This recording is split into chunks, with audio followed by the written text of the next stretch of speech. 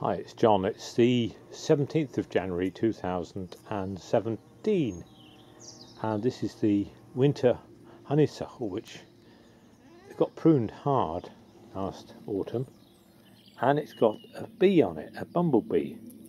Oh, there he is. And there's a big thing about bees and pollinating flowers and early early flowers and things like that at the moment. So since I heard the bee, I sort of thought, ah, that's something, you know, important. Um, he's got lots of pollen on his legs, I can see, or something on his legs.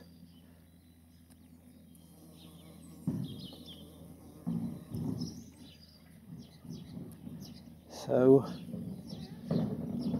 I don't know. Um, I'm doing my bit for nature. Not that uh, proactively, but well, I didn't plant the bush, but maybe cutting it has made it flower. I don't know. Um, because I heard the bee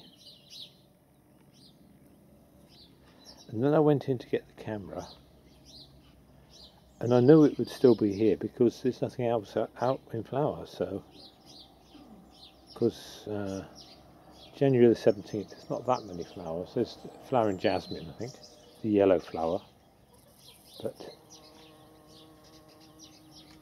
other than that, not a huge amount for it to go on to. So, I was safe there. I was thinking of making a bee hotel for the solitary bees, or buying one, buying some. Quite interesting. Right, bye for now.